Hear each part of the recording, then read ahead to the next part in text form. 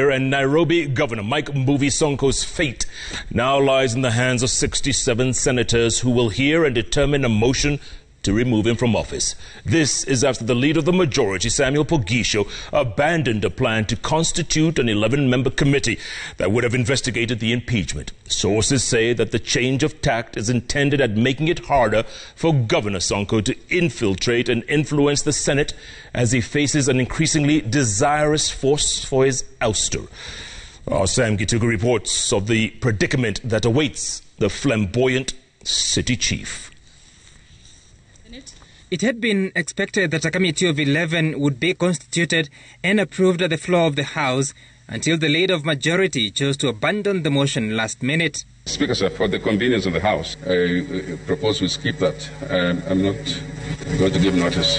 Having withdrawn or otherwise abandoned the notice of motion, and therefore the motion, the route of committee is therefore abandoned, and that now means that the Senate will investigate this matter in plenary. I will be gazetting Thursday, 17th December 2020 and Friday, 18th December 2020 as the dates on which the Senate shall undertake the investigations of this matter in plenary. Representative of the Nairobi County Assembly, who by supermajority voted to remove Sonko last week, will be first to present their evidence against the governor. Sonko is accused of, among other things, abuse of office, violation of the Constitution, and different laws on utilization of public funds. Details of the anticipated Committee of 11 emerging. The Jubilee side of the Senate was to comprise Senator Samson Cherargei of Nandi County, Hargura Godana of Marsabit, Abdullahi Ali of Wajir, nominated Senators Alice Milgo and Christine Zawadi, alongside Kirinyaga's independent Senator Charles Kibiru. From the minority side were Senators Okongo Mogeni of Nyamira, Mombasa's Mohamed Faki, Fred Outa of Kisumu, and nominated Senators Judith Pareno of ODM and Petronila Were of ANC. On a very important matter. That change when Pogisho abandoned the plot, sources telling Citizen TV there is desire to remove Governor Sonko from office. Were the committee to defeat the impeachment motion, then the matter would end there.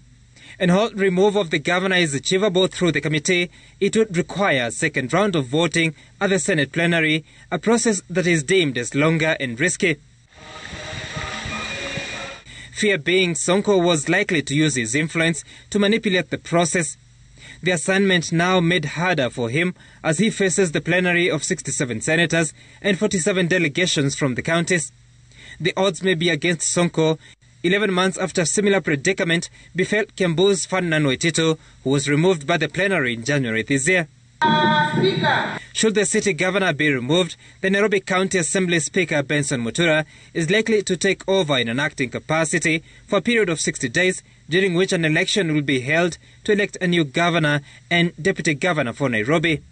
Sonko has not had a deputy who would take over from him since Polycarp Igathe resigned in January 2018. Sam Kitoko, Citizen TV, Nairobi.